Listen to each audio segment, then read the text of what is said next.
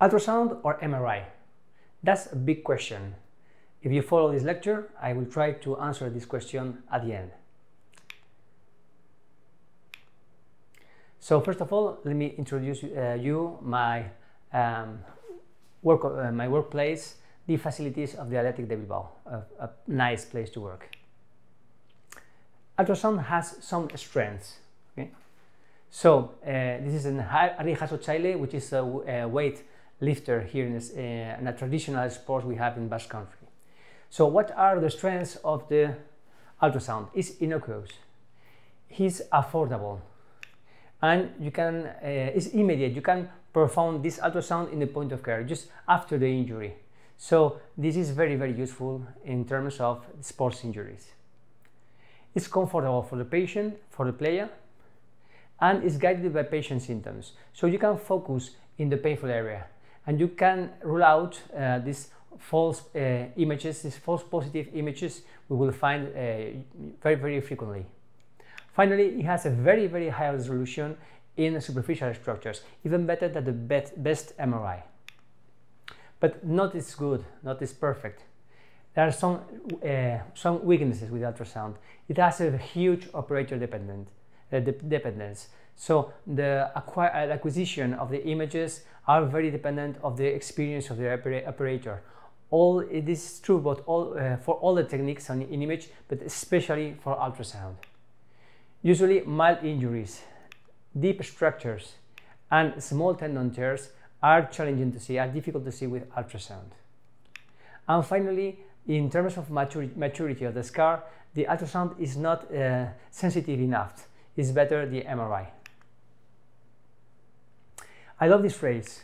We only see what we know. So uh, in, to see an injury, we, we must know how this injury is seen by ultrasound. So uh, we are going to talk about muscle injuries.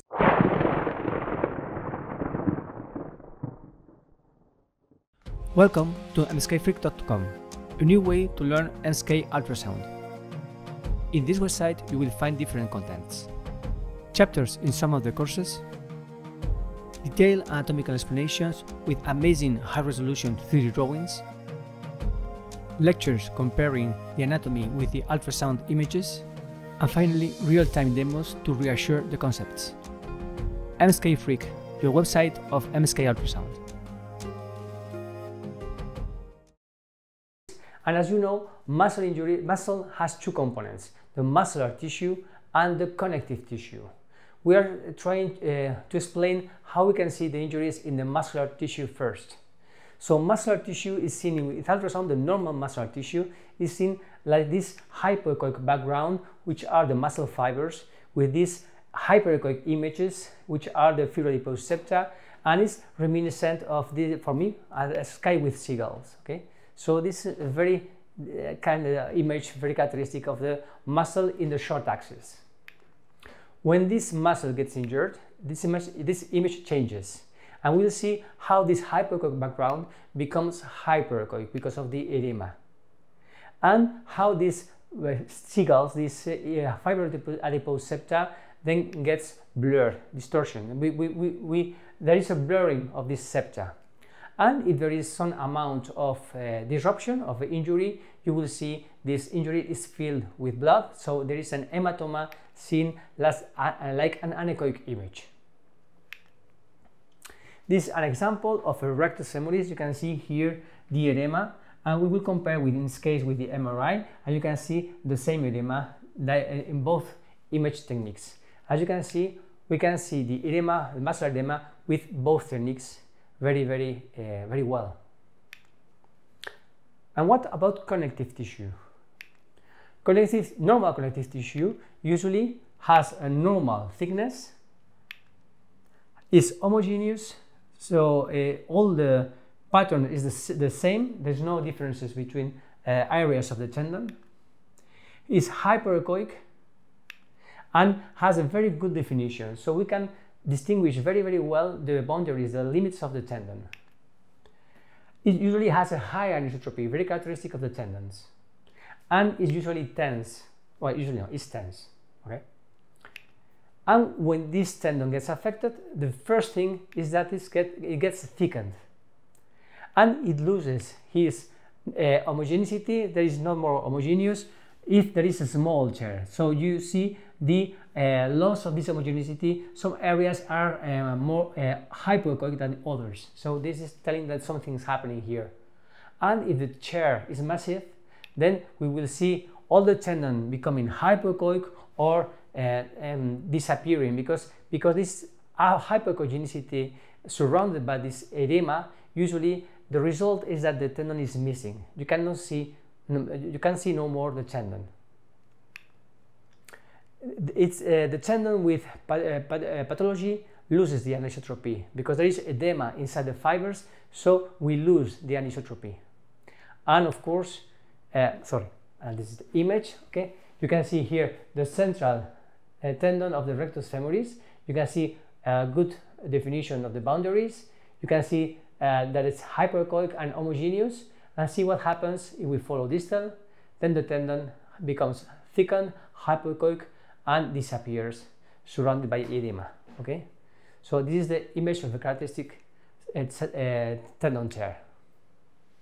And uh, if we want to see uh, the retraction, the loss of tension, then we need to do sometimes to understand better these uh, panoramic reconstructions or sometimes take a look at some wavy aspect of the tendon that you can see here okay? This wavy aspect and this small acoustic shadows you can see here which are telling us that this is an, uh, an artifact uh, happens when it is um, rounded borders so this is a or a stump or a wavy tendon okay with these small acoustic shadows. Okay, if you see an acoustic shadow inside the tendon without a calcification, then suspect a total tear.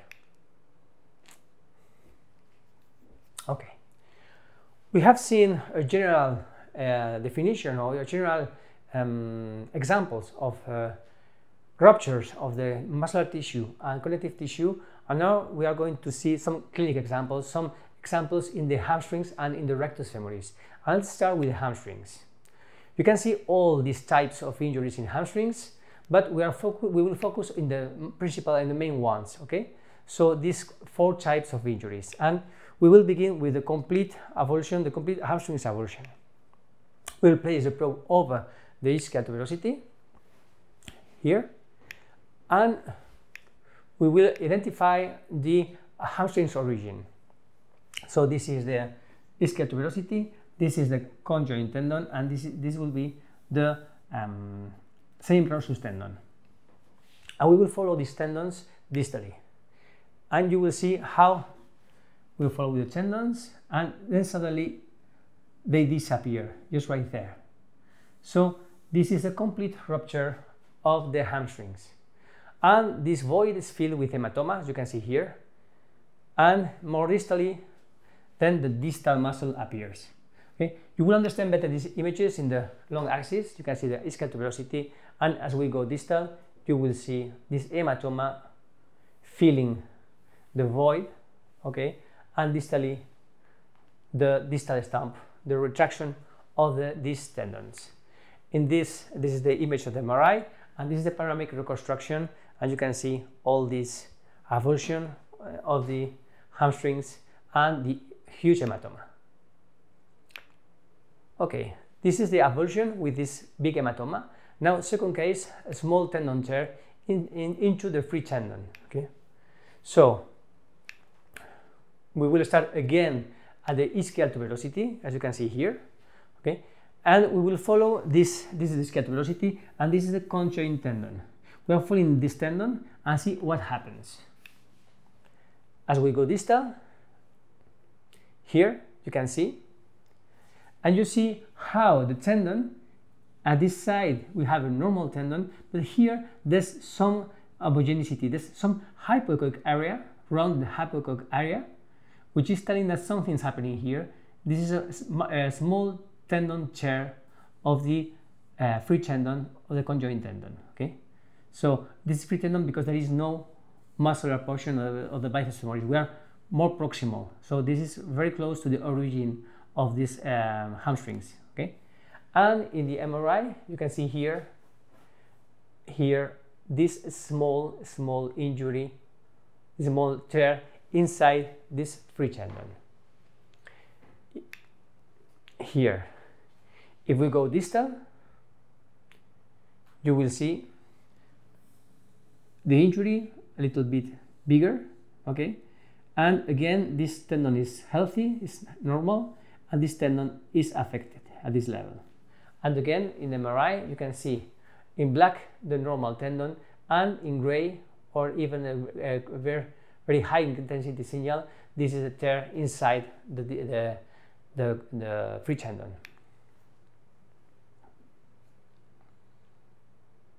And we can follow distally, and more distally, then the tear becomes smaller, and we still have a little bit here, but it's getting uh, smaller and smaller.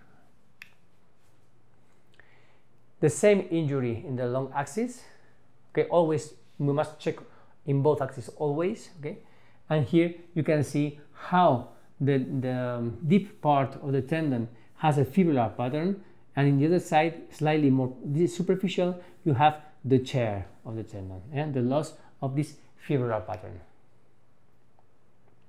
Now the conjoint tendon injury.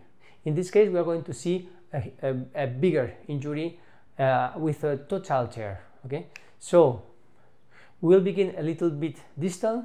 You here you can see there is no more free tendon because we are seeing this muscular component of the long head of the biceps, and you can see that is some small. we're not sure something is happening here. Maybe not. We will continue slightly distal, and here we have a clear affection of this conjoint tendon, okay? You can see this hypoechoic round uh, mass, uh, tendon, sorry, with loss of anisotropy. And if we take a look at the MRI, you can see here, again, this image of this tendon with this uh, small amount of uh, connective tissue preserved, but here a huge affection, uh, more than the 50% of the total cross-sectional area. If we continue slightly distal, let's see what happens with this tendon. Then it disappears. And even you can see this acoustic shadow here telling us that something has lost tension here, that is surely some uh, waviness of the tendon. This, uh, don't, don't, don't get wrong, this is not the conjoint tendon, this is the component of the semitendinosus. Uh, you will understand better in the MRI you can see here the component of the semitendinosus, okay? But this is the component of the uh, biceps femoris, which uh, is no more there because there's a complete tear of this uh, conjoint tendon, of this tendon, in this case, of the long head of the biceps. Okay.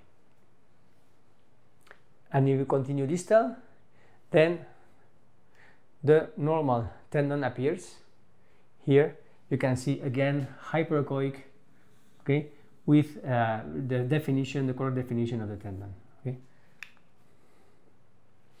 Again, we can turn the probe and see what happens in the long axis, and you will see this shadowing here. Okay, this these shadows are telling us that is a waviness of the tendon, a loss of tension of the tendon, as you can see here in the MRI. Okay, I have this image here, and you can see this retraction of the tendon okay? And finally the last one in the hamstrings which is the uh, system affection.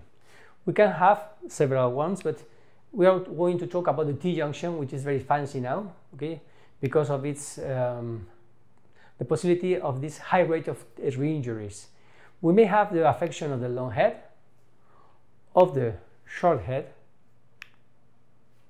or the affection of both heads at the same time, which, is, which are called the zipper injuries with the worst prognosis. We're going to take a look at this, these ones and we are seeing the, this example. In this case, we can see the affection of the long head of the bicep. This is short head, this is long head, and you can see here the affection, the edema, sorry, in the long head, okay? The same is in the MRI, you can see here the edema in the long head. But uh, we are going to see what happens as we go distal. Then you see that there is an hematoma, eh, sorry, an edema in both heads, okay? And even if we go slightly distal, you will see better this edema here, and you can see how the edema affects both the short head at this level and the long head at this level, with uh, this, uh, the tendon be missing at this level. So again, you can see in the MRI the same images with the edema in the short head, in the long head, and the, the um, this part of the T uh, disappeared. Okay, so this is the zipper, a classic zipper injury.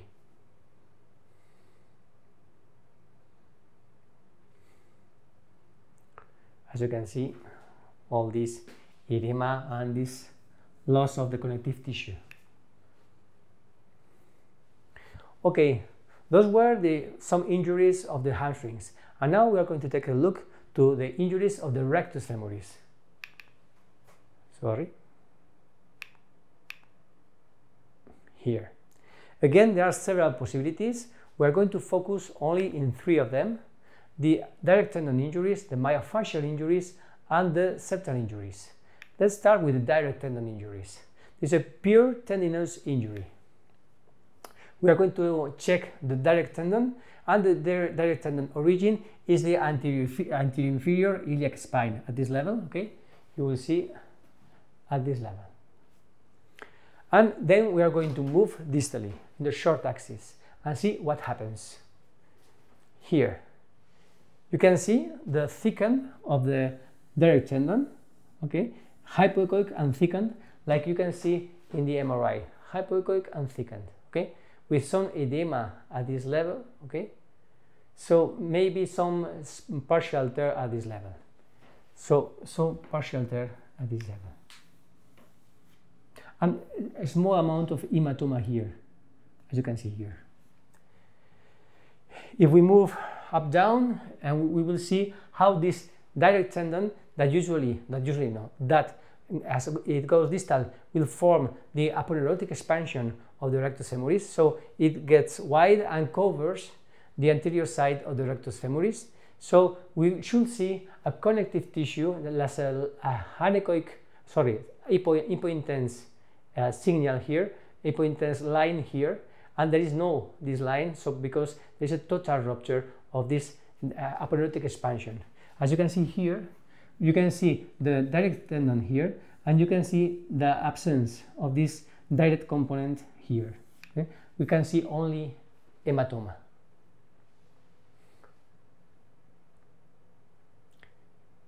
Maybe you'll understand better in the long axis. We are at the same place.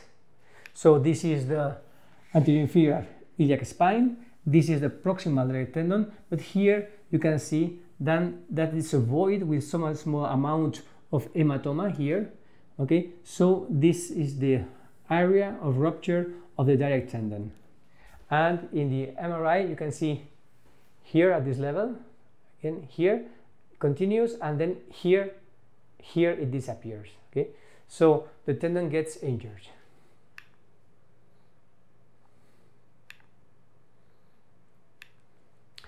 Myofascial injuries are particular injuries located. Um, they, they are into the distal uh, uh, connective system because the, this distal connective system um, reaches a very proximal place. Uh, usually the um, posterior aponeurosis, as we go proximal, gets thin and thinner and thinner and is so thin that we cannot see no more with the ultrasound or MRI, but there is still a, a very, very thin line, which is the fascia covering the posterior side of the rectus femoris. Sometimes you will see edema and injury in between the muscle and this posterior fascia. That's why they are called myofascial injuries. And in this case, you can see the edema of the rectus femoris, like, like we will see an MRI, okay? And with this small rupture, okay, inside the muscle here, okay, telling us that there is some hematoma inside. Okay, so this image is very similar in both in MRI or ultrasound. And if we turn the, the probe 90 degrees over this edema, you will see the characteristic edema called the feathery edema inside the muscle, both in MRI and in ultrasound. Okay, so very very easy to see, and we can uh, have a very good view of this edema and these injuries with ultrasound and with MRI both. To finish the septal injuries, if we follow this central tendon of the rectus femoris and see what happens, like in this case, you have here, sorry, here, this is the rectus femoris, the central tendon of the rectus femoris. This is the final part of the aponeurotic expansion you can see here, but you can see here the central tendon of the rectus femoris. We will follow this tendon, then puff, it suddenly disappears, gets thickened and hypoechoic, and this tells us that this is a complete rupture of this tendon. You can see here in an ultrasound on this long axis, and you can see here the panoramic reconstruction of this injury. In MRI, you can see here the complete tear with some amount of retraction and waviness of the tendon.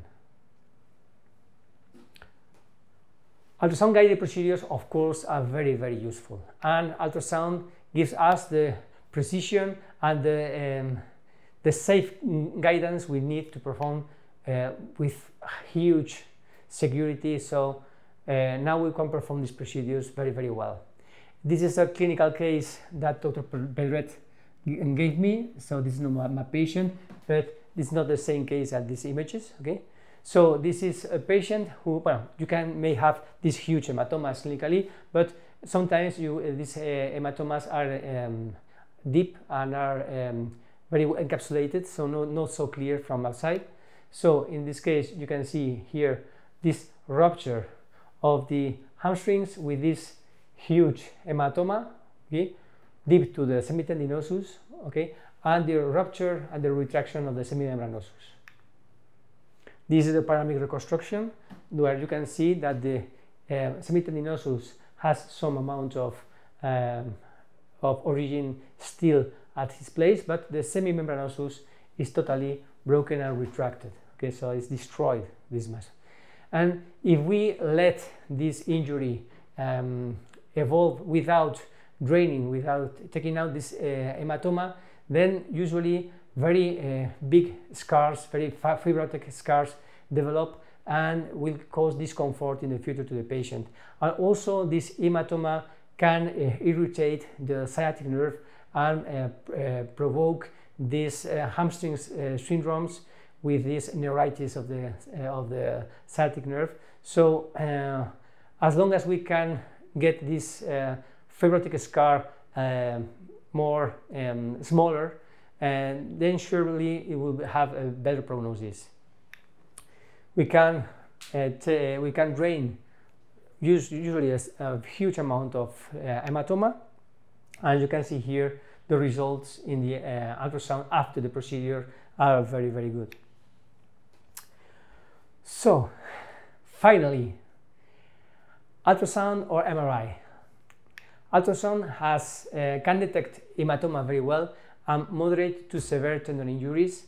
So it's a, useful technique, especially after a first, for a first evaluation after injury, because it's, uh, um, we will have this uh, machine uh, at the side of the field, very close to the, um, to the player.